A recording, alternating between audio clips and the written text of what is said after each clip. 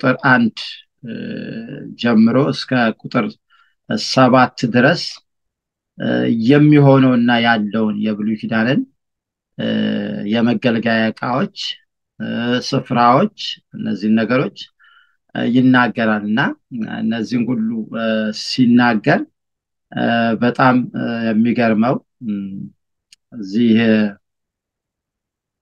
ቁጥር አምስት ላይ ስትመጡ እየዘረዘረ መጣና ቁጥር አምስት ላይ ስትመጡ በላዩም ማስተሰሪያውን የሚጋርዱ የክብር ኪሩቤል ነበሩ። ስለነዚህም ስለ እያንዳንዳቸው ልንናገር አሁን አንችልም።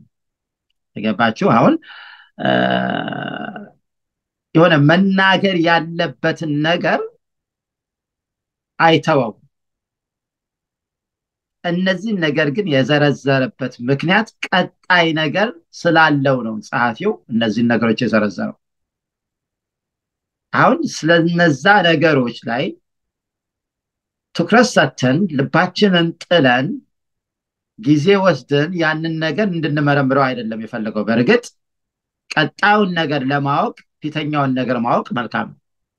ባለፈው እንደተነጋገር ነው የአዲስ ኪዳን ጣዕም የሚገባን ብሉይ ኪዳንን ስናነበው የት እንደነበርን ስናውቀው ሰው የት እንደነበረ ካወቀ አሁን የት እንዳለ ከተረዳ ለበለጠው ነገር ስፍራ ይሰጣል ማለት ነው።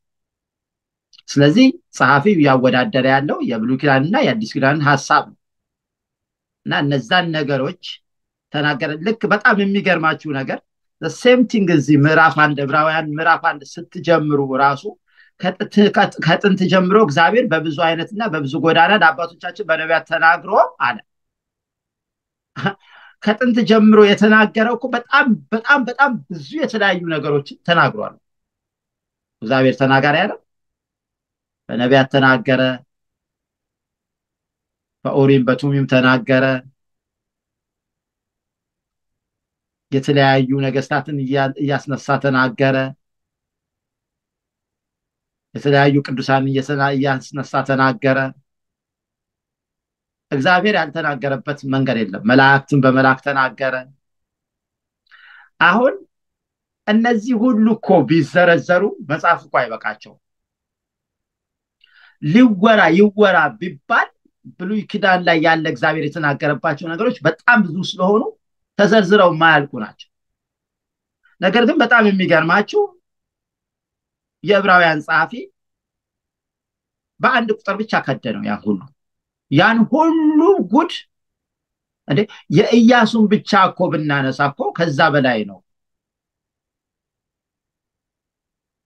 ጉድ የሚያስብል ነገር እኮ ብዙ ሰርተዋል እኮ ነቢያቱ ቅዱሳኑ። ፀሐይን በገባው ታቆመው የለ እንደነ ኢያሱ ይወራ ቢባል ማለት ነው። ስንት ድንቅ ነገር እኮ አለ እግዚአብሔር ሲሰራባቸው የነበረ ይህንን ሁሉ ግን በአንድ ቁጥር ከደነው በቃ ጸሐፊው። ለምን? ምክንያቱም ሊገልጠው የሚፈልገው ነገር ይሄን መነሻ ያድርገው እንጂ ትኩረት እንድናደርገው የፈለገው ነገር ግን ያስቀመጠው ሀሳብ በጣም የሚገርማችሁ ምዕራፍ አንድ ምዕራፍ ሁለት ምዕራፍ ሶስት እያለ ቀጥሎታል ማንነቱን ልክ ቁጥር ሁለት ላይ የተጀመረው ሁሉም ወራሽ ባደረገው ደግሞም ዘመናትን በፈጠረበት በልጁ በዚህ ዘመን መጨረሻ ለእኛ ተናገረን ብለው ስለ ልጁ እንደገና ማውራት ጀመረ። እርሱም የክብሩ መንጸባረቅ የባህሩ ምሳሌ በስልጣኑ ቃል የሚደግፍ ኃጢአታችን የሚያነጻ በሰማያት በግርማ የተቀመጠ እንዲህ እያለ አብራራው እና ሰዎች ሁሉ ነቢያቱ ላይ መላእክቱ ላይ ቅዱሳኑ ላይ ሀሳባቸው እዛ ላይ ሆነው እንዳይቀሩ ማነጻጸር ደግሞ ጀመረ። ምዕራፍ አንድ ምዕራፍ ሁለት ምዕራፍ ሶስት ስትሄዱ እያነጻጸረ ምጣ ከመላእክት ጋር ያነጻጽራል፣ ከነቢያቱ ጋር ያነጻጽራል፣ ከቅዱሳኑ ጋር ያነጻጽራል። የሚታወቁ ሰው ነቢያትን ሁሉ ያነሳል። እነ ሙሴን ያነሳል። መላእክት ነው እነ መላእክት መላእክትን ያነሳል። እነዚህም ሁሉ እያነጻጸረ ይሄ ልጁን ሊያስተዋውቅ ነው የፈለገው። ስለዚህ የነበረውን ታሪክ በአንድ ቁጥር እንደዘጋ ሁሉ ልክ እዚህ ጋርም ስትመጡ ምዕራፍ ስምንት ላይ ስትመጡ ዘረዘረ ዘረዘረና ምዕራፍ ዘጠኝ ይቅርታ። ዘረዘረ ዘረዘረና ቁጥር አምስት ላይ ሲመጣ ስለነዚህ ስለ እያንዳንዳቸው ልንናገር አሁን አንችልም ማለት ብዙ እኮ ነው። ብዙ ስለሆነ አንችልም። ግን ይሄ የሆነበት ምክንያት አለና ቁጥር ስድስት ላይ መጣና ይህም እንደዚህ ተዘጋጅቶ ሳለ አለ። ይሄ ሁሉ ከታች ያነበብነው ነገር የተዘጋጀው የፊተኛይቱ የአገልግሎት ስርዓት ምን እንደነበር? ምን አይነት ትልልቅ ነገሮች እንደነበሩት? ምን አይነት ክብር እንደነበረው? እንደምታውቁት ሶስት ክፍሎች ነበሩት ብለናል አይደል? ቅድስተ ቅዱሳን እንደገና ቅድስት እንደገና ደግሞ ህዝቡም ይቆምበታል ስለዚህ ቅድስተ ቅዱሳን በአመት አንዴ ካህኑ የህዝቡን ሁሉ ኃጢአት ለማስተሰር የሚገባበት ነው። ቅድስት ካህናቱ የሚያገለግሉበት ቦታ ነው ስለዚህ በዚህ ቦታ ላይ ከቅድስት በኋላ ያለው ህዝብ አለ። በቅድስት ውስጥ ካህናት ያገለግላል። ወደ ቅድስተ ቅዱሳን ግን ይገባ የለም። አሁን ይህ ይህም እንዲህ ተዘጋጅቶ ሳለ አለ። ካህናት አገልግሎታቸውን እየፈጸሙ ዘውትር በፊተኛይቱ ድንኳን ይገቡባታል። የትኛዋ? የፊተኛይቱ ድንኳን የተባለችው ማለት ነው ስለዚህ በሁለተኛው ግን አለ። አሁን ቅድም ያልኳችሁ ነው። ቅድስት ቅድስተ ቅዱሳን። ስዕላዊ መግለጫ ቢኖር አሳያችሁ ነበር ግን እንዴት ላስቀምጥላችሁ? አንዳንድ የድሮ አብያተ ክርስቲያናት አሁን በአዲስ ኪዳን ያሉ የድሮ አብያተ ክርስቲያናት የዛ አይነት በዛ አይነት አምሳል የተሰሩ አሉ። በእርግጥ አብዛኞቹ የክብ ቤተክርስቲያን ናቸው የክብ ቤተክርስቲያን ቅድስት ቅድስተ ቅዱሳን እና የህዝቡ የሚቆምበት ውጭ አለ። አሁን የምታዩቸው ለምሳሌ አሁን ቀጥተኛ ቀጥታ ያለው አብያተ ክርስቲያናት ማለት አራት ማዕዘን ያሉ አብያተ ክርስቲያናት እንደምታውቁት ቅድስተ ቅዱሳኑ ካህናቱ የሚቀድሱበት ነው። ልክ ቅድስተ ቅዱሳን ወጥተው ስባት ላብ ስባት ለወልድ ቦታ እንደ ቅድስት ነው። ሚታይ ውችዝ ማለት የሚቆምበታል ቦታ እዛ ላይ ማለት ከዛ በኋላ ያለው ህዝቡ ያለበት ቦታ ነው እና የዛ አይነት ምሳሌ አድጋችሁ በጭንቅላታቸው ያሳሉት። ግን ድንኳን ድንኳን ሆነው ተቀምጠዋል። በዛ ውስጥ የማይገቡበት ካህናቱ ብቻ በአመት አንዴ። በፊተኛይቱ ይሄ ሁሉ ይህም እንደዚህ ተዘጋጅቶ ሳለ ካህናት አገልግሎታቸውን እየፈጸሙ ዘውትር በፊተኛይቱ ድንኳን ይገቡበታል። ዘውትር የሚያገለግሉ ካህናት ዘውትር ይገቡባታል።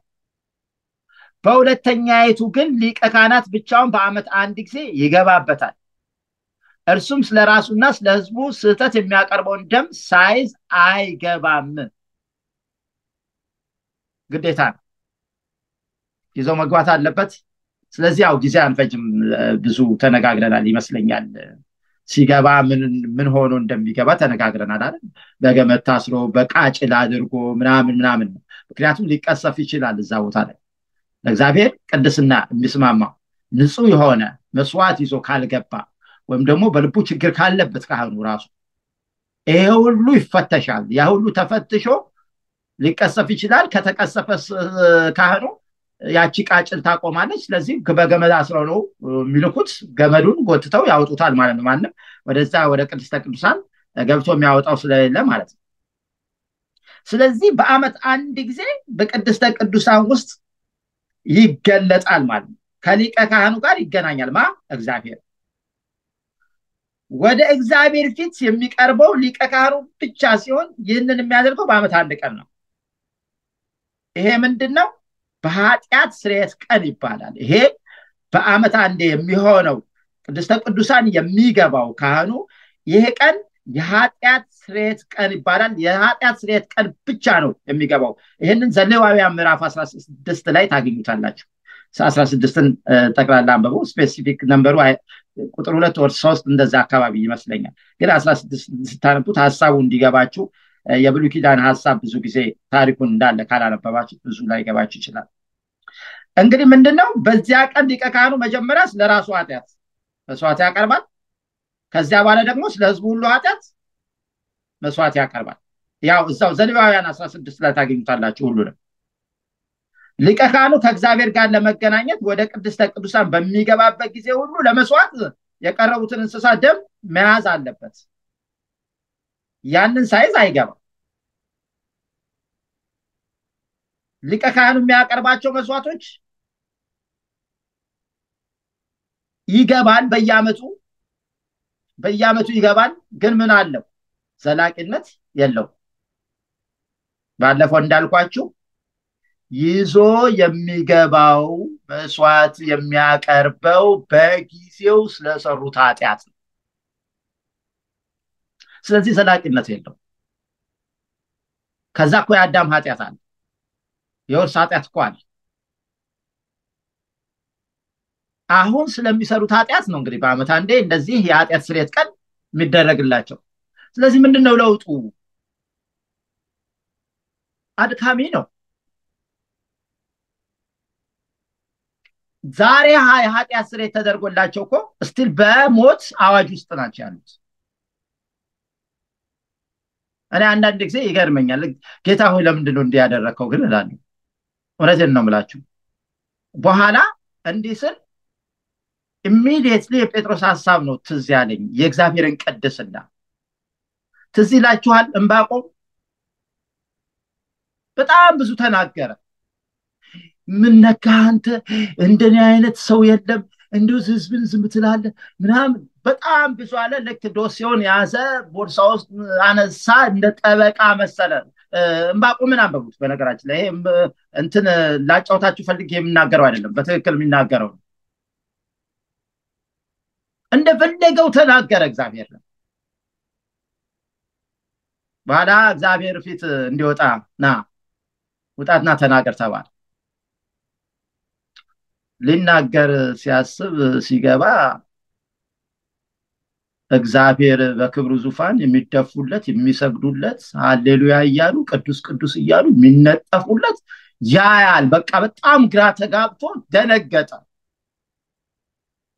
በኋላ በዛው በቅድስናው መጠን ደግሞ የረከሰውን የሰው ልጅን ወደ ምድር ተመለከተ።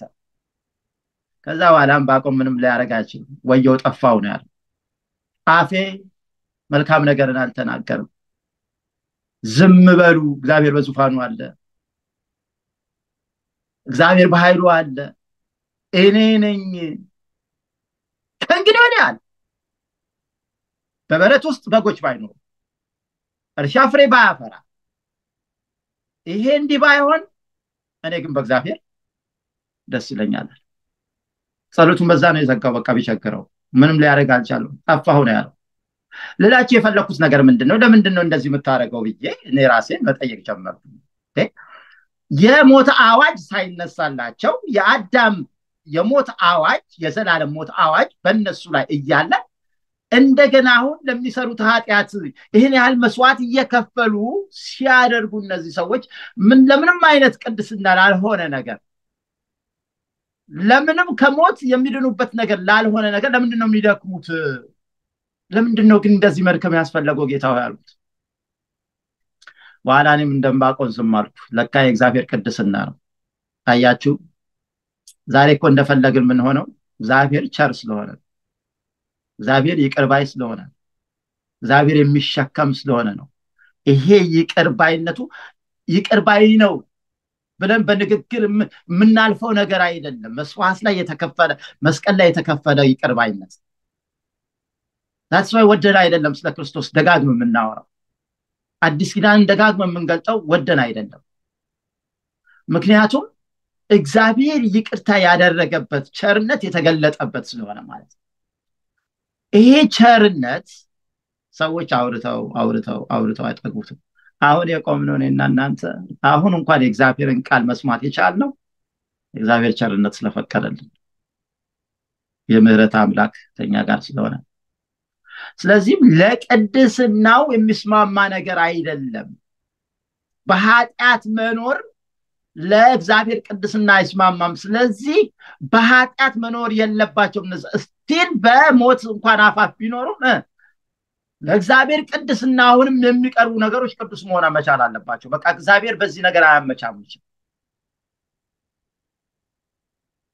አመቻምቶ አይደለም። እኔና እናንተ ዛሬ እዚህ የደረስ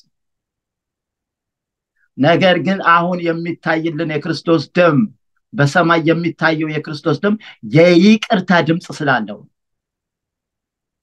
እኔና እናንተ ወደ እሱ ስንቀርብ በክርስቶስ ውስጥ ነው የሚያየን እንጂ የሚታይ ነገር የለንም እኛ ሁላችን የሚታይ ነገር የለም። ሰው ህልውናውን ስቶ በራሱ ድካም መንግስተ ሰማያትን እወርሳለሁ ሲል በጣም ያሳዝናል። ህልውናውን የእግዚአብሔርን ህልውና መርሳትና ማለፍ ስለዚህ ያውላችሁ በአመት አንድ የሚደረገው ይሄ ስርዓት የተፈጠረው ወይም ደግሞ ይሄ ስርዓት የሆነው ከእግዚአብሔር ነው። ሁለቱም ከእግዚአብሔር ናቸው። የሚደንቃችሁ ነገር እኮ እሱ ነው።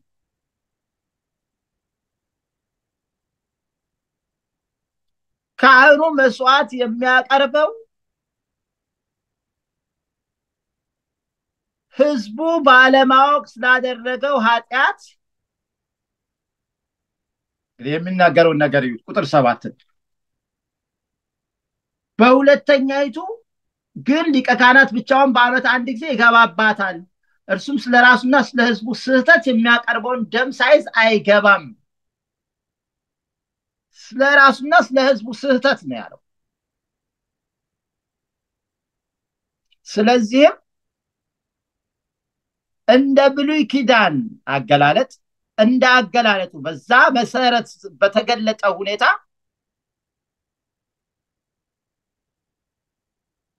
ሆን ተብሎ ለተሰራ ኃጢአት ምንም መስዋዕት ወይም ይቅርታ የሚደረግ እንዳልሆነ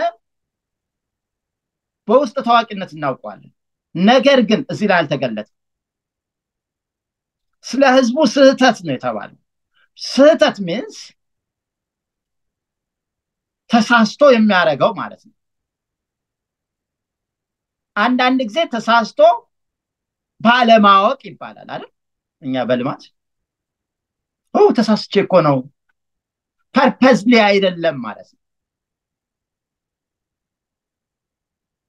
አሁን ይህንን ሲያሳስበን እዚሁ ዕብራውያን ምዕራፍ አስር ላይ ቁጥር ይኸውላችሁ ቁጥር ሀያ ስድስት ላይ ምን ይላል መሰላችሁ? ዕብራውያን ምዕራፍ አስር ቁጥር ሀያ ስድስት ላይ ምን ይላል መሰል?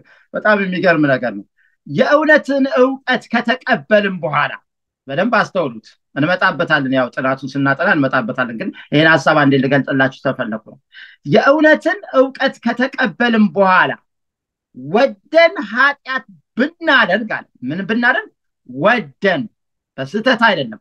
ወደን ኃጢአት ብናደርግ ከእንግዲህ ወዲህ ስለ ኃጢአት መስዋዕት አይቀርልንምና የሚያስፈራ ግን የፍርድ ቀን ወይም የፍርድ መጠበቅ ተቃዋሚዎችንም ሊበላ ያለው የእሳት ብርታት አለ የእውነትን እውቀት ከተቀበልም በኋላ ወደን ኃጢአትን ብናደርግ በደንብ አስተውሉት። ወደን የሚለውን ነገር አስምሩበት። ወደ ኃጢአት አደረግክ ማለት ከክርስቶስ ጋር መስማማት አልፈለክም ማለት እንጂ ክርስቶስ ይቅር ይለኛል ብለህ ወደ ኃጢአትን ማድረግ የለብህም። ምክንያቱም ክርስቶስ የኃጢአት አገልጋይ አይደለም ነው የሚለው የእግዚአብሔር ቃል። ድኛለሁ ብለህ ወደ አትሰራው። እንደውም ድኛለሁ ስትል መወር ታከብረዋለህ። ለምን? የዳንክበት መስዋዕት ምን አይነት መስዋዕት እንደተከፈለ ስለምታውቀው ስለሚገባ ከኃጢአት ጋር አትተባበርም። እግዚአብሔር በኃጢአት ላይ ጨካኝ ስለሆነ ነው የአዳምን ኃጢአት እንኳን እያለባቸው የበግ መስዋዕት እንዲያቀርቡ ያዘዛቸው። አንድ ልጁን ሰጥቶማ ዝም አይልህም። ልጁን ካላመንክ፣ በልጁ ካላገጥክ፣ የልጁን ደም ከረገጥክ ዝም አይልህም።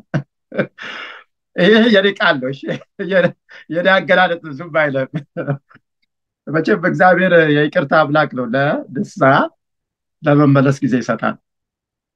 ሰው በሆን ልክ እንደኔ ቢሆን ኖሮ በቃ ወዲያው ድምጥማጡን ያጠፋ ነበራል። እና ይገርመኛል አንዳንድ ጊዜ የእግዚአብሔር ቸርነት፣ የእግዚአብሔር ርኅራኄ፣ የእግዚአብሔር ትዕግስት በጣም የሚደንቅ ነው እና ወገኖቼ በህይወታችሁ ትክክለኛ ምርጫ ነው የመረጣችሁት እግዚአብሔርን ማምለካችሁ ወልድ መንፈስ ቅዱስን ማምለካችሁ ትክክለኛ ምርጫ ነው። ይህን የመሰለ ምርጫ የለም። ሰው የትኛውንም ያህል እውቀት ቢኖረው እውቀትን ሁሉ በዜሮ የሚያጣፋው ክርስቶስን አለማወቅ። ስለዚህ እግዚአብሔር በዚህ ዘመን መጨረሻ ወደ እናንተ ደግሞ የደረሰው በዚህ እውነት ስለሆነ እግዚአብሔር እናመሰግናል። ስለዚህ ወደ ሀሳቡ ስንመለስ ቁጥር ሰባትን በዛ አይነት ሁኔታ አስቀምጦታል የሚያቀርበው ደም ሳይዝ አይገባም ማለት ፊተኛይቱም ድንኳን በዚህ ገና ቆማ ሳለች ወደ ቅድስት የሚወስደው መንገድ ገና እንዳልተገለጠ መንፈስ ቅዱስ ያሳያል። በደንብ አስተውሉ እዚህ ጋር ይላችሁ አሁን ደም ሳይዝ አይገባም አለ። ከዛ በኋላ አልዘጋውም። ፊተኛይቱም ድንኳን አለ። የትኛዋ ናት ፊተኛይቱ ድንኳን ያለው? ቅድስት። እሺ አትርሱት እሱን። ፊተኛይቱም ድንኳን በዚህ ገና ቆማ ሳለች ወደ ቅድስት የሚወስደው መንገድ ገና እንዳልተገለጠ መንፈስ ቅዱስ ያሳያል። የሚገርም ነገር ነው። ልብ አድርጉ። በቅድስተ ቅዱሳን ከሊቀ ካህኑ በቀር ወደ ቅድስተ ቅዱሳን ማንም ሰው አይገባም። ያን አይተናል። ወደ እግዚአብሔር ፊት የሚያስገባው መንገድ ቅድስተ ቅዱሳን የሚገባው ወይም ደግሞ ወደ እግዚአብሔር የሚገባው መንገድ ካህኑ ከሆነ ወደ እግዚአብሔር ፊት የሚያስገባው መንገድ ለሌሎች አይሁዳውያን ዝግ እንደነበር ያሳያል ማለት ነው። ዝግ ነበር።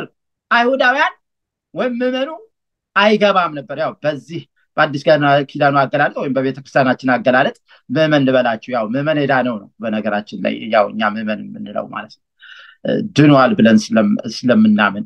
ምክንያቱም በኢየሱስ ክርስቶስ በአብ ወልድ መንፈስ ቅዱስ የሚያምን የዳነ ነው። አሁን ይወላችሁ ምን አለ? የሚገባው ካህኑ ከሆነ እዛ ላይ የሚገባው። በደንብ አስተውሉልኝ። እዛ የሚገባው ካህኑ ከሆነ ህዝቡ አይገባም ማለት ይሄ ግልጽ ነው። ስለዚህ የመጀመሪያዊቱ ድንኳን እስካለች ድረስ ማለትም በደንብ አስተውሉት። የመጀመሪያዊቱ ድንኳን እስካለች ማለትም ምኑ ነው? አሮጌው ኪዳን ወይም ብሉይ ኪዳን ማለት ይሄ ኪዳን ስራ ላይ እስከዋለ ድረስ ወደ እግዚአብሔር ፊት የሚያስገባው መንገድ እንደተዘጋ ነው ማለት በደንብ አስተውሉልኝ። እነዛ ድንኳኖች አሉ። ወደ ቅድስተ ቅዱሳን ወደ ቅድስት ለመግባት የካህኑ አገልግሎት ብቻ ከሆነ እዛ ቦታ ላይ ያለው ህዝቡ ወደዛ የሚገቡ አይደለም ማለት አሁን ከምድራዊ ቤተክርስቲያን ውጡና መንፈሳዊ ነገርን እንድትስሉ እፈልጋለሁ። አሁን ይኸው object የሆነ ወይም ደግሞ building ን ተዉት እርሱት። አሁን ወደ እግዚአብሔር ክብር የሚያመጣውን ነገር ነው በህሊናችን ወይም በመንፈስ እንድንስለው የምፈልገው።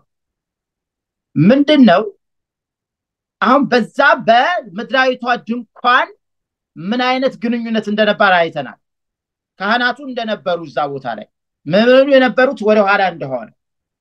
ይሄንን ነገር ካየን እስከ መጨረሻው ድረስ በዛ ብሉይ ኪዳን መሰረት ምዕመናን አይገቡም ወደዛ። ታዲያ አዲስ ኪዳን ሲገባሉ ወይ ልትለን ነው ብላችሁ ይችን ቤተክርስቲያን እንዳትስሉ ብዬ ነው። አሁን ሰማያዊቷን ቤተክርስቲያን። ምክንያቱም የአዲስ ኪዳን መቅደስ ሰማያዊት ናት። ልብ አድርጎ አሁን በዚህ በሚታይ ነገር ላይ እምነት አልመስረት። የማይታየውን አምልኮ ገባችሁ? በሰማይ ያለውን ያንን አምልኮ የመላእክትን አምልኮ ነው እዚህ በምድር ላይ እየተለማመድን ያለ ነው እዚህ የምንቀረው ወይም እዚህ የምናስቀምጠው አምልኮ አይደለም ወገኖች ሰማያዊውን ነው እየተለማመድን ያለው። ለዚህ ነው መንፈሳዊ አድርጉት። አንድ ጊዜ ልባችሁን አስፎልኝና በመንፈስ እንድታየው ትፈልጋል የመጀመሪያ ድንቱ እንኳን እስካለች አሮጌው ኪዳን ስራ ላይ እስከዋለ ድረስ እግዚአብሔር ፊት የሚያስገባው መንገድ ምን ያለ ነው ማለት ነው? የተዘጋ ነው ማለት ነው። ስለዚህ ይወላችሁ አሁን ምን ሆነ? ክርስቶስ ወደዚህ ዓለም በመጣበት አሁን የመጣበትን መንገድ በመጣበት ጊዜ የእግዚአብሔር ፊት ወይም ደግሞ ወደ እግዚአብሔር ፊት በግልጥ ምን አረገ ማለት ነው? ገባ ማለት ነው። አሁን ገባ የሚለው እዚህ ቁጥር በነገራችን ላይ ቁጥር እዚህ ቁጥር አስራ ሁለት ላይ እዩት እስኪ። ቁጥር አስራ ሁለት ላይ ላምጣችሁ። አንድ ጊዜ እንዝለልና እዚሁ ምዕራፍ ምዕራፍ ዘጠኝ ቁጥር አስራ ሁለት ላይ ምን ይላል? ሊቀ ካህናት ሆኖም በምትበልጠውና በምትሻለው በእጆችም ባልተሰራች ማለትም ለዚህ ፍጥረት ባልሆነች ድንኳን የዘላለም ቤዛነት አግኝቶ አንድ ጊዜ ፈጽሞ ወደ ቅድስት በገዛ ደሙ ገባ። ማን? ክርስቶስ። አሁን በዚህ አሁን ከምድራዊ ነገር ውጡ ያልኳችሁ ለዛ ነው። ወደዛ ገባ ካለ ወዴት ነው የገባ ወደ እግዚአብሔር ገባ ማለት ነው። ስለዚህ አሁን ወደ እግዚአብሔር ሲገባ በደሙ የማንን ኃጢአት ይዞ ነው ማለት ነው? የህዝቡን ሁሉ ኃጢአት ይዞ ነው። አሁን እሱ ሲገባ የእሱ አገባብ የተለየ ነው የአዳም ኃጢአት እንዳለባቸው ሆኖ ለወቅቱ ለሚሰሩት ኃጢአት እንደሚሆንላቸው አይደለም የሱ። የእሱ completely ነገሩን ቀይሮታል። ለምን? powerful ነው። አሁን ለምንሰራው ኃጢአት ብቻ አይደለም። ማለትም ከአዳም ከወረስነው ኃጢአት ብቻ አይደለም። አሁን ለምንሰራውም ኃጢአት ዋስትና እንዲሆን ማለት ነው። of course ንስሐ መግባት አለብን። ንስሐ ሳትገባ ዝም ብለህማ አይሆንም ግን ዋስትና የሚሆነው አሁን ንስሐ እንድንገባ ዋስትና የሆነ ብሉይ ኪዳን ላይ ብንሆን እኮ በግ ይዘን እንመጣለን። ምን ሆናችኋል? ደም ይዘን እንመጣለን እኮ ብሉይ ኪዳን ላይ ብንሆን። አሁን ግን ንስሐ ነው። ንስሐ easy። በጣም ቀላል ነገር። immediately ንስሐ ስታስብ በልብህ ይቅርታ ተደርጎልሃል። አንተ ነህ እንጂ ኃጢአቱን አስር ጊዜ ሽሩሩ ለምታስበው እግዚአብሔር ግን ይቅር ብሎ ይሄን ያህል ኢዚ ነው። ቀላልነቱን ላሳያችሁ። ዮሐንስ ወንጌል ምዕራፍ 3 ቁጥር 16 ላይ ሙሴ በምድረ በዳ እባብን እንደሰቀለ የናስ እባብን ሰቅሎ ከናሱ የተነደፉት የሚድኑት ቀና ብለው በማየት ብቻ ነው። እባቡን አውርዱ አልተባሉ እባብ አምጡና ፈልጉ አልተባሉ እውነተኛ እባብ ማምጣት አለባቸው አልተባሉ ሙሴ ቀጥቅጦ የእባብ ምልክት ያሳያቸዋል አላማ ላይ ይሰቅልላቸዋል። ምን ማድረግ ነው? ቀና ብሎ ቀና ማለት ብቻ ነው። ፌቨር አድርጉልኝ ይላቸዋል ሙሴ። በቃ ቀና በሉ ብቻ ቀና ንስሐ ይሄን ያህል ቀላል ነው። ወገኖቼ በኃጢአታችን ከተጸጸትን እግዚአብሔር ይቅር ሊለን የታመነ ነው እንደ ብሉይ ኪዳኑ ይዘነው የምንመጣው ነገር የለም ስለዚህ ምንድን ነው እያልኩ ያለሁት? ለአዳም ኃጢአት ብቻ ሳይሆን insured እንድንሆን አሁንም ያለ ኃጢአት እንንታይ እሱ ያለ ኃጢአት ታየ ነው የሚለን። ወደዛ ገባ አለ። አሁን ወደዛ ሲገባ ተመልከቱ። ጌታችን መድኃኒታችን ኢየሱስ ክርስቶስ ወደዛ ገብቶ የእኔንና የእናንተን ኃጢአት ሁሉ ይቅር እንዲባል አድርጓል። ስለዚህ ለአማኞች ሁሉ የኃጢአት ቤዛ ሆነ ማለት ነው። ማን? ጌታችን መድኃኒታችን ኢየሱስ ክርስቶስ። ስለዚህ ወደ እግዚአብሔር እግዚአብሔር ስሙ የተመሰገነ ቀጥታ እንድንገባ ምን አደረገልን? መንገድ ከፈተልን በመረቀልን በመንገድ በዛ በዛ እንድንገባ። አየ ብሉይ ኪዳን ላይ ሁለተኛውና ሶስተኛው ድንኳን ላይ አትገባ። እዛ ነው የምትቀረው። እሱ ግን አሁን ወደ ቅድስተ ቅዱሳን ጥሶ ሲገባ ማንን ይዞ ገባ? እኛን ይዞ ገባ። ክብር ለእግዚአብሔር ይሁን። እናንተ ቀላል አይደለም እንደ ይሄ መንፈሳዊ ነገር እኮ ነው። ይገባሃል ይገባሃል ልንለው ይገባል እኮ ክርስቶስን። ሊሰገድልህ ይገባሃል ሊሰበክልህ ይገባሃል ልትጠራ ይገባሃል። ሲያንስበት እኮ ነው ምን እንኳን ለጌታችን ለመድኃኒታችን ለኢየሱስ ክርስቶስ ቀርቶ እኮ ለሱ ለታዘዙት እንኳን ቅዱሳን እኮ ስማቸውን አንስተን እኮ እንደዚህ አድርጓል እንላለን። አይደለም እንዴ? እንኳን አበሳችንን የደመሰሰ ጌታ ቀርቶ። ስለዚህ ተገኝቶ ነው ስለሱ መንገዱን ከፈተ። ይሄንን ነው የሚነግረን። ቁጥር ስምንት ላይ ይሄ ነው ፊተኛይቱ ድንኳን በዚህ ገና ቆማ ሳለች ወደ ቅድስት የሚወስደው መንገድ ገና እንዳልተገለጠ መንፈስ ቅዱስ ያሳያል። ካልተገለጠ መንፈስ ቅዱስ ሊገልጠው የሚፈልገው ነገር አለ ማለት ነው። አሁን ሊያሳየን የሚፈልገው ይህም አለ። ለአሁኑ ጊዜ ምሳሌ ነው። ለምኑ ጊዜ? ለአሁኑ ጊዜ። okay ምን ማለት ነው? ለአሁኑ ጊዜ ምሳሌ ነው። እንደዚህም መባና መስዋዕት ይቀርባሉ። እነዚህም እስከ መታደስ ዘመን ድረስ የተደረገ ስለ ምግብና ስለ መጠጥም ስለ ልዩ ልዩ መታጠብም የሚሆን የስጋ ስርዓቶች ብቻ ናቸውና የሚያመልከውን በህሊና ፍጹም ሊያደርጉ አይችሉም። በመታየት የሚገለጡ በመታየት የሚደረጉ ነው። እምነት ደግሞ በመታየት አይደለም ወገኖች። እምነት ደግሞ በሚታይ ነገር አይደለም። በአሮጌው ኪዳን ወይም ደግሞ በብሉይ ኪዳን የሚቀርበው መባና መስዋዕት የአቅራቢውን ሰው ህሊና ፍጹም ሊያደርግ አልቻለውም ነው እያለን ያለው። ያለ ንጹህ ህሊና ደግሞ ማንም ቢሆን ወደ እግዚአብሔር መቅረብ አይችልም። ይሄ የታወቀ ነገር ነው። ስለዚህ ህሊናችን ሊነጻ የሚችለው በክርስቶስ መስዋዕትነትና በውስጣችን በሚኖረው መንፈስ ቅዱስ አማካኝነት ብቻ ነው። መንፈስ ቅዱስ እንደገና ካልተወለደ ያ ሰው የእግዚአብሔርን ፊት ወይም የእግዚአብሔርን ክብር ሊያይ አይችልም ከህሊና ሊነጻ አይችልም ምክንያቱም ምክንያቱም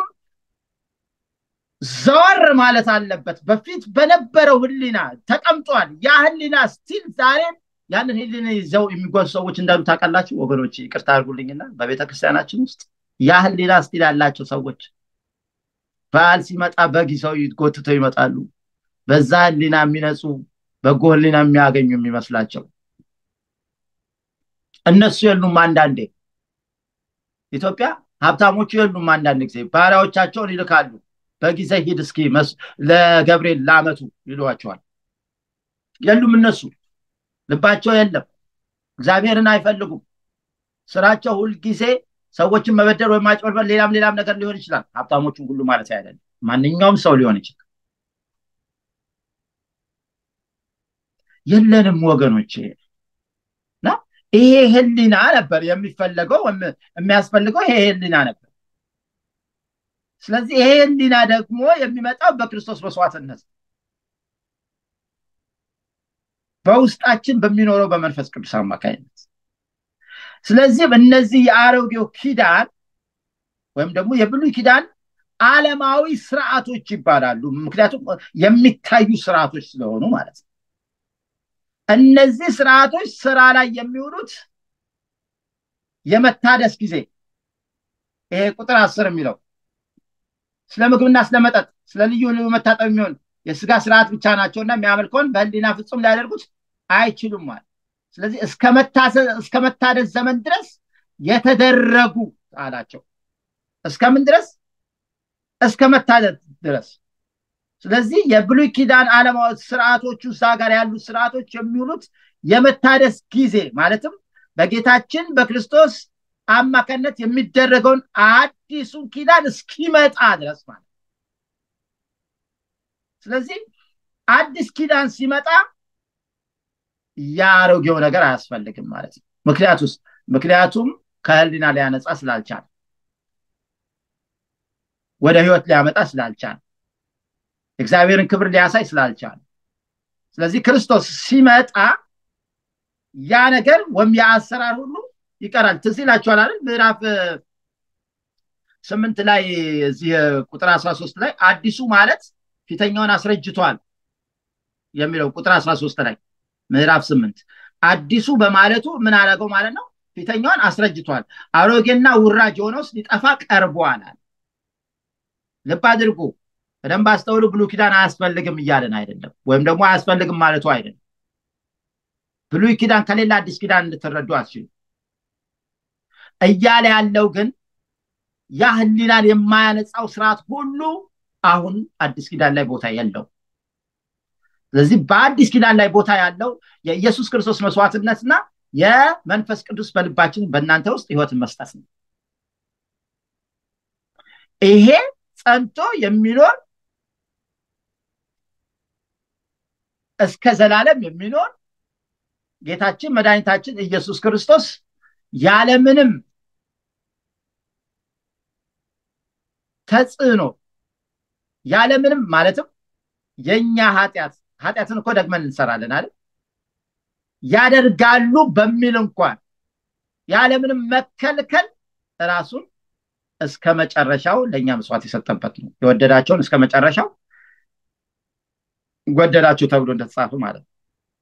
ስለዚህ ከድንኳኗና ከአገልግሎቷ የምንማረው ነገር አለ። እሷን ተናግሬ ቶሎ ጨርሳል ምንድን ነው ታዲያ? ከድንኳኗ ከአገልግሎቷ የምንማረው ምንድን ነው ተመልከቱ ስለ ድንኳኗ የራሳችንን ትርጉም እንድንሰጥ አልትተወልንም የእግዚአብሔር መጽሐፍ በራሱ ሀሳብ ሊገልጠው የተቀመጠ ስለሆነ ማለት ነው ነገር ግን መንፈስ ቅዱስ በግልጥ እውነተኛ ትርጉሟን በመግለጽ ነግሮናል። ምንድን ያለው?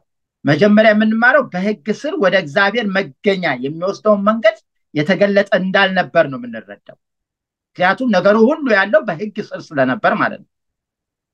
ስለዚህ ይሄ የህግ መንገድ ነው። የተሰጠ እኮ ነው። በእግዚአብሔር የተሰጠ እኮ ነው። እነሱ እኮ የፈጠሩት እኮ አይደለም። እግዚአብሔር የሰጣቸው ነው። እንዴ? የሚገለገሉበት ነው መጥፎ ነገር የለውም እኮ። ግን አሁን ወደ ህይወት ስንመጣ ወደ ህይወት ጉዳይ ላይ ስንመጣ ግን በህግ ስር ወደ እግዚአብሔር መገኛ የሚወስደው መንገድ የተገለጠ አልነበረም ማለት ነው። ስለዚህ ይሄ የድንኳኗ አገልግሎት በግልጽ የሚያሳይ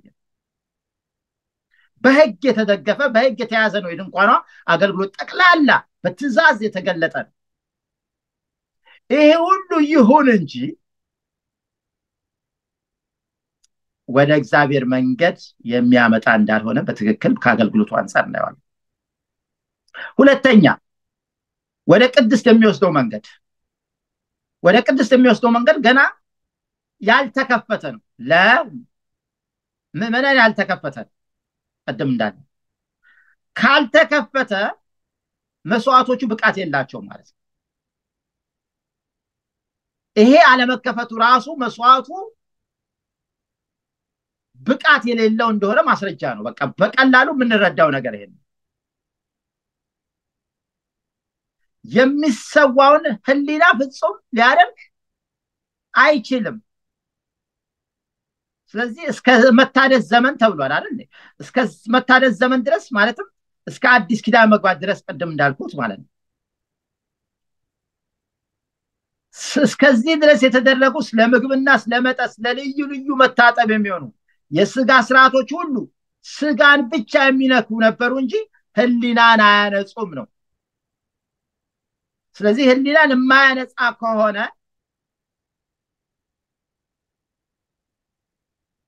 የብሉ ኪዳኑ አገልግሎት ወይም ደግሞ የዚህ ሀሳብ አገልግሎት ወደ ህይወት የሚያመጣ አይደለም ሌላው በሶስተኛ ሶስተኛ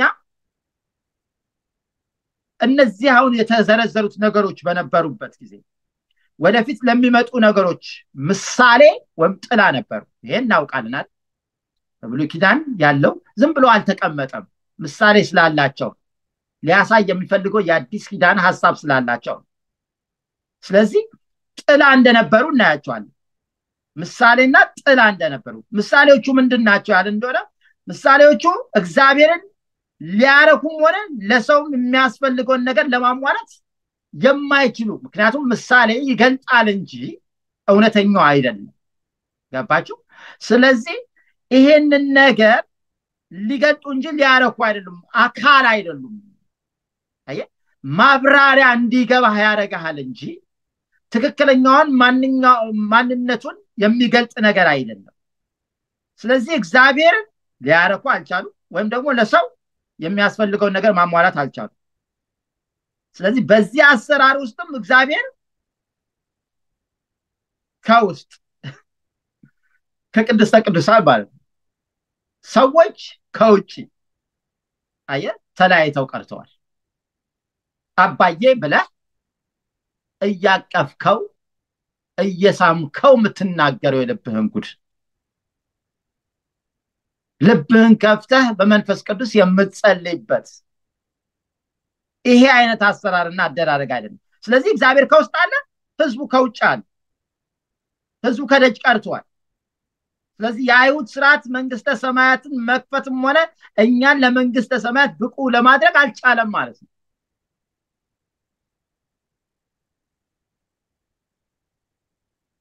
ስለዚህ ወገኖቼ የክርስትና ዓለም ይህንን የመንፈስ ቅዱስ ትምህርት ወይም መንፈሳዊውን ነገር የምንቀበልበት እንጂ ችላ የምንልበት ነገር አይደለም። ችላ በማለት በድንኳኗ ውስጥ ምሳሌውን እየተመለከተ ወደ አካሉ በመቅረብ ፈንታ ምሳሌውን ለሃይማኖታዊ አገልግሎቱ እንደ ንድፍ አድርጎ መጠቀም ተገቢ አይደለም። ዝም ብሎ በቃ ሃይማኖተኛ ነው ተብሎ የሆነ የብሉይ ኪዳንን ንድፍ ነድፈን በቃ አሁን ያንን ንድፍ ማድረጋችን ሰው ብቻውን ምድራዊ ነገር ላይ እንዲቀር ያደርጓል የአዲስ ኪዳን ስርዓት አባቶቻችን ሲሰሩ ይሄ የአዲስ ኪዳኑን ስርዓት እንድንመለከት አይደለም የሰሩልን ሰማያዊቷን በመንፈስ እንድንመለከት እንጂ እዚህ ላይ እንድንቀር አይደለም እኛ እኮ ጥሰን የገባንን በክርስቶስ አማካኝነት እንዴት ነው ውጭ ሆነን ምንቀረው? በሃይማኖት ስርዓት፣ በሃይማኖት ትእዛዝ። ሃይማኖት የሚለውን ሀሳብ ሰዎች ስላልገባቸው በቃ የኔ ሃይማኖት እንደዚህ ነው፣ በዚህ ነው የምሄደው ብለው ነው የሚያስቀምጡ። ሃይማኖት በመጀመሪያ ደረጃ ወልድ መንፈስ ቅዱስ ማለት ነው። ስለዚህ ምንድን ነው ለማለት የፈለግኩት መሰላችሁ? መነቀፊያ መደረግ የለብንም። በሌሎች መነቀፊያ መሆን የለብንም። በትክክል ለእኛ የተሰጠን አባቶቻችን የሰጡን ስርዓት ውብና መልካም ነው። ግን እኛ ስንጠቀምበት አጠቃቀም ላይ ግን ተሳስተናል። ስንጠቀምበት የምናደርጋቸው ነገሮች ከሰማያዊው ነገር ይልቅ ምድራዊው ነገር ላይ አያችሁ፣ ግመል ግመሉን እየዋጣችሁ ትንኝ ትንኙን ታጠራላችሁ እንደተባለው ማለት ነው። እንደዛ እንድንሆን አይፈልግም። አሁን የዕብራውያን ጸሐፊ በዚህ አይነት ምጥ ሊያስረዳን ነው የሚፈልገውን ለእኔ እንደሚታየኝ ማለት ነው። እሺ እየጠቀለልኩት ልምጣ። አንድ ጊዜ ሰዓታችን ሄደዋል፣ ይቅርታ። ስለዚህ ምንድን ነው በመለኮታዊው በዚህ በክርስትናው ይሄ ወደ እውነተኛ መለኮት በምንመጣበት እግዚአብሔር በሰራው እግዚአብሔር ባዘጋጀው እግዚአብሔር ለሰው ልጆች ሁሉ እንዲሆን ባደረገው ነገር በዚህ አይነት ህይወት በመንፈሳዊ ነገር ወደ እሱ እንድንመጣ ይፈልጋል። ልብ አድርጉ። ህዝቡ ከእግዚአብሔር ርቆ ያቆየው ህሊናው ፍጹም ስላልሆነ ነው። ስለዚህ ህሊናን ፍጹም የሚያደርግ ነገር ግድ ነው ማለት ነው። ስለዚህ የአይሁድ ህዝቡ ከእግዚአብሔር ርቆ ያቆየውን ህሊናውን ፍጹም ሊያደርገው አልቻለው። ስለዚህ ፍጹም ሊያደርገው ወደሚችለው መምጣት አለበት። ፍጹም ወይም ንጹህ በማለት ያስቀመጠው ሐዋርያው እዚህ ዘጠኝና አስር ራሱ ምዕራፍ ዘጠኝና ምዕራፍ አስር ራሱ እያወዳደረ የሚናገረው ያንን ስለዚህ ህሊና በጎ በጎ ህሊና ተብሎ የተተረጎመ ወይም ደግሞ ተብሎ የተቀመጠለት ህሊና የተለየ ለዚህ ለአዲስ ኪዳን ሀሳብ ወይም ደግሞ አገልግሎት የተመቸ ለዚህ አይነት ሁኔታ የተዘጋጀ ንጹህ የሆነ ህሊና ስለዚህ ይሄ ንጹህ የሆነ ህሊና ማለት አንድ ጊዜ ከነጻ በኋላ ኃጢአትን የማያውቅ ህሊና ማለት ነው። ወይኔ ይቅርታ ስለ አንድ ጊዜ ምዕራፍ አስር እንየው። ምዕራፍ አስር አንድ ጊዜ እንግለጠው። ምዕራፍ አስር ቁጥር ሁለት ምን ይላል መሰላችሁ? ከቁጥር አንድ ጀምሬ ላንብበው እንዲገባን። ህጉ ሊመጣ ያለው የበጎ ነገር እውነተኛ አምሳል ሳይሆን የነገር ጥላ አለው። ስለዚህም በየዓመቱ ዘውትር በሚያቀርቡ በዚያ መስዋዕት የሚቀርቡትን ሊፈጽም ከቶ አይችልም። አሁን የህሊና ልብ አድርጉ፣ የህሊና መንጻትን የሚቀርቡትን ሊፈጽም ከቶ አይችልም። እንደዚህማ ባይሆን የሚያመልኩትን አንድ ጊዜ ነጽተው ከዚያ በኋላ በህሊናቸው ኃጢአትን ስላላወቁ ማቅረብን በተዉ አልነበረምን? እነማ እነዛ ስለዚህ ምንድን ነው እያለን ያለው ያላችኝ እንደሆነ የህሊና መንጻት ማለት የህሊና መንጻት ማለት ወይም ንጹህ የሆነ ህሊና ማለት አንድ ጊዜ ከነጻ በኋላ ኃጢአትን የማያውቅ ህሊና ማለት ነው።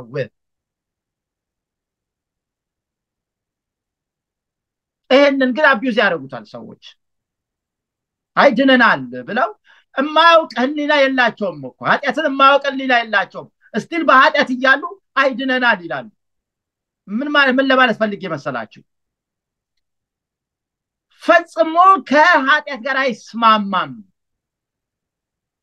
በክርስቶስ ያለ ህሊና አመጣላችኋለሁ፣ ግን አቅም አጥቻለሁ። ታዲያ ምንድን ነው የምትለኝ ልትሉኝ ትችላላችሁ። አመጣለሁ እመጣለሁ እሱ ጋር ገና አልመጣውም፣ ዋናው ጋር አልመጣውም። ግን ይህንን ሀሳቡን ይዛችሁ እንድታድሩ ስለምፈልግ ነው። የሆነ ነገር at least ይዛችሁ ህሊና ማለት ምን ማለት የሚለውን ነገር እንድትይዙ ስለምፈልግ ነው። ስለዚህ ኃጢአቱን በተመለከተ የተመረመረ ነገር ያም ምን ማለት ነው? የተመረመረ ነገር ግንዛቤ ያለው አማኝ ከኃጢአቶች ሁሉ የሚድንበት ወይም የዳነበት ሁኔታ ግዴታ ወደ ሶርሱ ይመጣል። ምንድን ነው ያላችን እንደሆነ የክርስቶስ ደም። ስለዚህ ከኃጢአቶች ሁሉ ውድ የሆነው ይሄ የክርስቶስ ደም እንደሚነጻ በሚያስረዳ ሁኔታ ወይም በሚያስረዳ ትምህርት የተዳሰሰ ወደ ፍርድ እንደማይመጣ የሚያውቅ ህሊና እንደሆነ ያመለክተዋል። ያ ህሊና ፍጹም ሆነ ማለት ወደ ፍርድ አይመጣም ማለት ነው። ፍጹም እንዲሆን ያደረገው የክርስቶስ ደም አየ። እግዚአብሔር አሁን ከኛ ጋር እቃቃ አይጫወትም፣ እንቆቅልሽ አይጫወትም። አየ ትልቁ እግዚአብሔር አበበ ሰውን ሰደኩ ብሎ ታች ወርዶ በዚህ ቂም ወይም በዚህ ኃጢአት እንዲይዛል ማለት አይደለም። ነገር ግን ነገር ግን በዚህ ነገር እንድቀጥል እግዚአብሔር ስለማይፈልግ የሚገስጸውን ይገስጻል። ክብር ለእግዚአብሔር ይሁን። የሚገስጸውን ይገስጻል፣ የሚቀጣውን ይቀጣል። ምክንያቱም አባት ልጁን ስለሚቀጣ እኛ አሁን ባሪያዎች አይደለን። መግረፍ አይደለም፣ ማሰቃየት አይደለም፣ መቅጣት እግዚአብሔር እንዲህ እያደረገ ያመጣናል። ስለዚህ በጎ ህሊና በተግባራዊ ኑሮ በዕለታዊ ኑሮ በዕለታዊ መንገዱ ክፋት የሌለው ህሊና ማለት ነው፣ በጎ ህሊና ማለት ነው። ስለዚህ ሁል ጊዜ ከእግዚአብሔር ጋር የሚኖርበትን ህይወት እየዳሰሰ ይኖራል። ይሄ በአእምሯችሁ እንዲሳል እፈልጋለሁ። በጎ ህሊና በቃ እንደ ዳነ ሰው ለመኖር እንሞክር ለማለት ነው። እንደ ዳነ ሰው እንኑር። እንደ ዳነ ሰው እንኑር ማለት በጎ ህሊና ያለው ሰው ማለት ነው። በጎ ህሊና ደግሞ ኃጢአትን ፈጽሞ አያስበው ሊያስበውም አይችልም። ስለዚህ ከዛ ጋር ህብረት ስለሌለው ማለት ነው። እዚህ ላይ ጥያቄ ካላችሁ በደንብ discuss እናደርጋለን። I'm sure ጥያቄዎች ይኖሩባቸዋል ብዬ አስባለሁ። ለፕሮግራም መሪዎቻችን ለጸጋ ወይም ለሮቤል please ስጧቸውና ጥያቄዎችን አሁን አሁን ጊዜያችሁን ስለወሰድኩ ማለት ነው ስጧቸውና ጥያቄ የፈጠረባችሁ ነገር ካለ እናብራረዋለን። ከሌለባችሁ ግን ትንሽ ብቻ ስለ ህሊና ክለሳ አድርጌ በሚቀጥለው ስለ ሳምንት ወደ አዲሱ መስዋዕት እንገባለን። አዲሱ መስዋዕት አሁን ስለ አሮጌው መስዋዕት ነበር እያወራን የነበረው። አሁን ከቁጥር 11 እስከ ቁጥር 23 ስለ አዲሱ መስዋዕት ነው የሚናገረው እና ያንን መስዋዕት ደግሞ እናያለን። እግዚአብሔር በረዳ መጠን ለዚህ ምሽት ይበቃናል። ያስተማረን አምላካችን ስሙ የተመሰገነ ይሁን። ወስብሐት ለእግዚአብሔር። ተባረኩ።